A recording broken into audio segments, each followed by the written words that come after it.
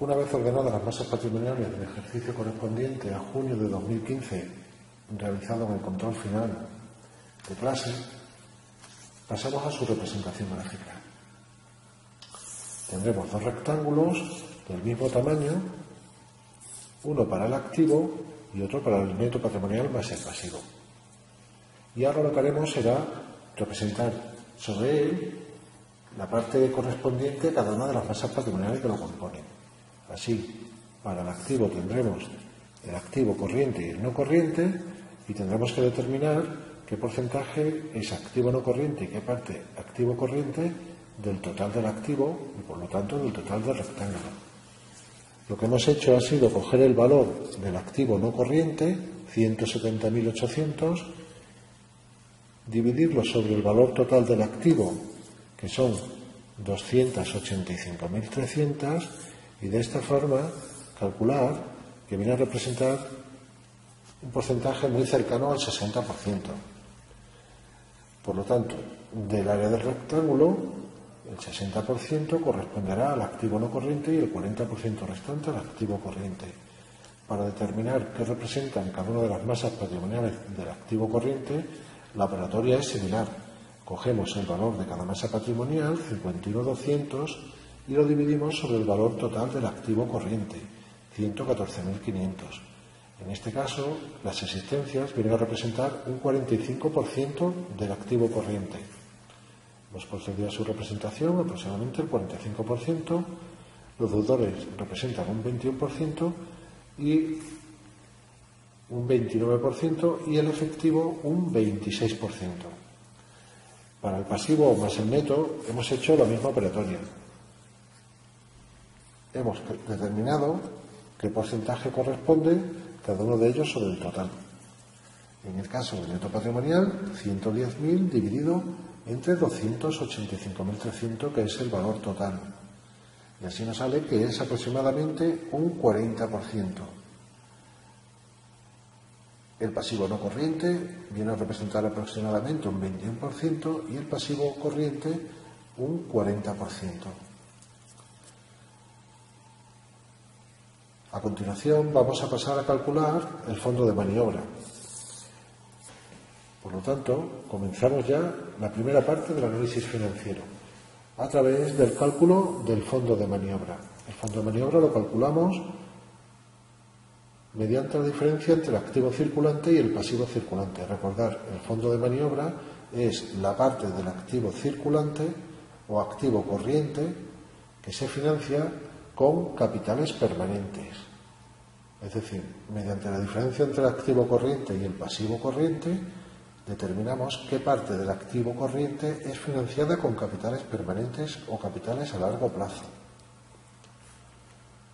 En el ejercicio tendríamos que el valor del activo corriente son 114.500, le rectaríamos el valor del pasivo corriente, que son 115.000, y obtendríamos que hay un fondo de maniobra negativo por importe de 500. Por lo tanto, estamos ante un fondo de maniobra negativo, inferior a cero. Si procedemos a su representación gráfica, en este caso nos encontramos con que el pasivo corriente es superior al activo corriente. Y por lo tanto, tendríamos que es un pelín superior por un importe de menos 500. Es decir, tenemos una situación patrimonial en la cual tenemos una estructura financiera compuesta de neto más pasivos, pero en la que se nos presenta un fondo de maniobra negativo. Esto supone que nos encontramos ante una situación financiera de inestabilidad. Todo el activo corriente en su totalidad se está financiando con pasivo corriente y por lo tanto eso va a suponer la presunción de que nos podemos encontrar con problemas para hacer frente al pago de las deudas. Vamos a comenzar el análisis financiero en el corto plazo mediante el estudio de los ratios. Comenzaremos con el ratio de tesorería inmediata. El ratio de tesorería inmediata nos permite medir la cantidad de euros disponible de forma inmediata cada euro que, que tenemos de deuda en el corto plazo.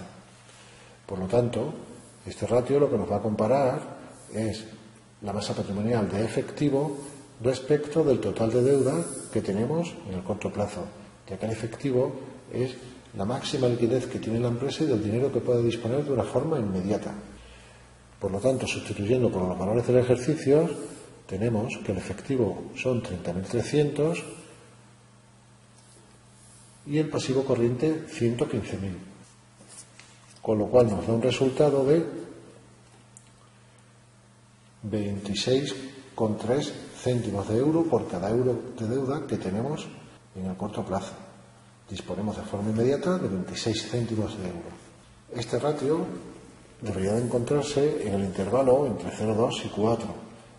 Comprobamos que el resultado efectivamente se encuentra en ese intervalo, por lo tanto, podemos decir que nos encontramos ante una situación normal en la que la empresa no debería de tener ningún problema para hacer frente al pago de las deudas en un plazo inmediato. Continuamos con el análisis financiero a corto plazo mediante el cálculo del ratio de tesorería ordinaria o ACIS-TETS. Este ratio nos permite medir la cantidad de euros de disponibilidad inmediata o realizable en dinero en cuanto se cobren los derechos de cobros que poseemos por cada euro de deuda en el corto plazo que tenemos. Para ello lo que hacemos es calcular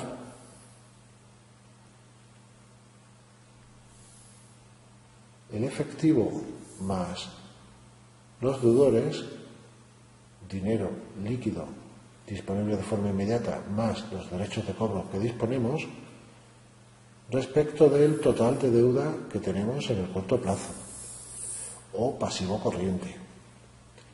Sustituyendo por los valores del ejercicio, tendremos 30.300 de efectivo más 33.000 de deudores o derechos de cobro entre 115.000. Eso nos dará un resultado del ejercicio de 0,55,2 céntimos de euro por cada euro de deuda que tenemos en el corto plazo. El valor normal que se estima es un valor que debería de haber estado comprendido entre el intervalo 0,75 y 1.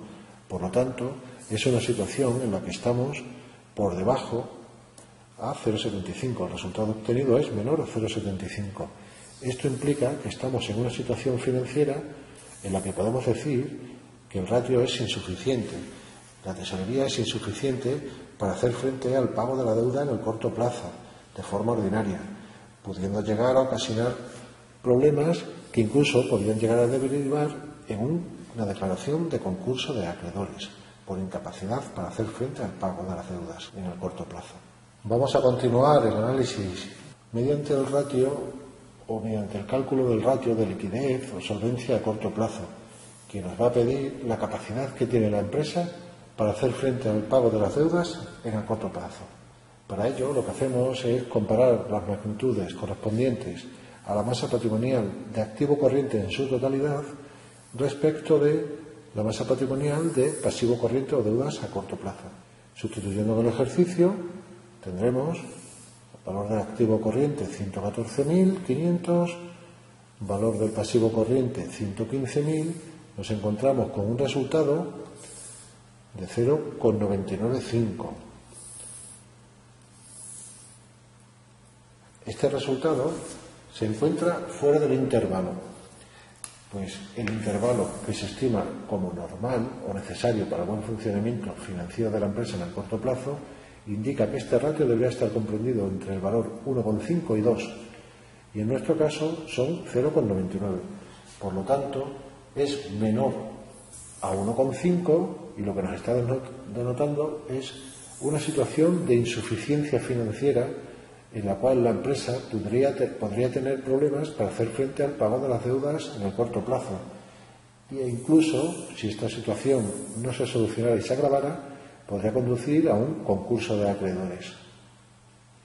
Para hacer el resumen general, el comentario final sobre la situación financiera en el corto plazo de esta empresa, vemos que de forma inmediata no presentará ningún problema para el pago de la deuda de forma inmediata, en sus vencimientos más próximos, pero comenzará a tener problemas con la tesorería ordinaria y con la liquidez o solvencia en el corto, plazo, puesto que ambos ratios son insuficientes y la empresa podría tener unos problemas serios para hacer frente al pago de las deudas y que esta condición le llevara a tener que declararse en concurso de acreedores, ya que ambos ratios son muy bajos respecto a lo que se exige los mismos. Continuamos el análisis financiero a largo plazo mediante el estudio del ratio de endeudamiento, aquel que nos mide, nos mide qué parte de cada euro de la financiación obtenida es por endeudamiento.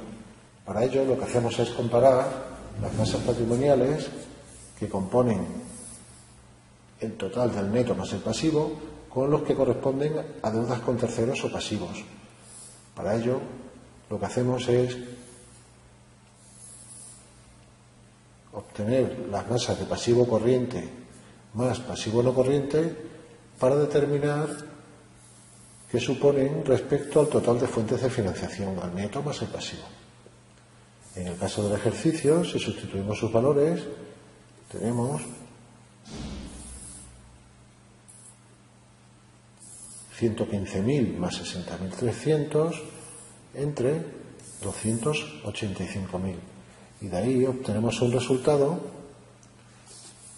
de 0,61,5 euros.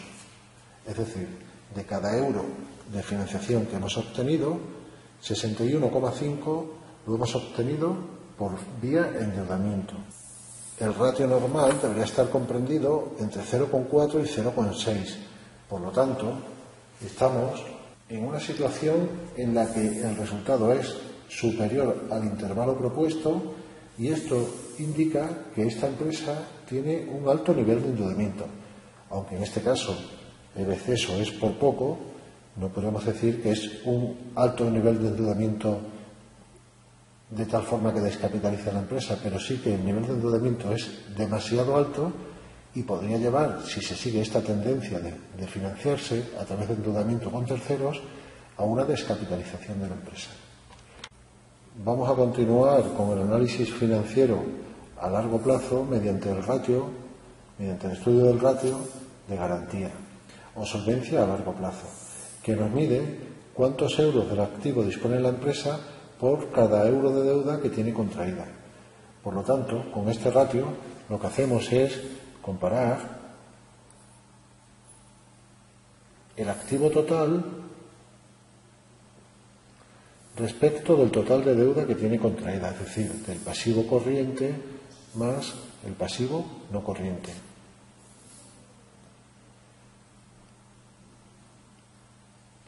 Si sustituimos en el ejercicio, tenemos que esto es igual a 285.300, que es el valor del activo total, entre 115.000 más 60.300.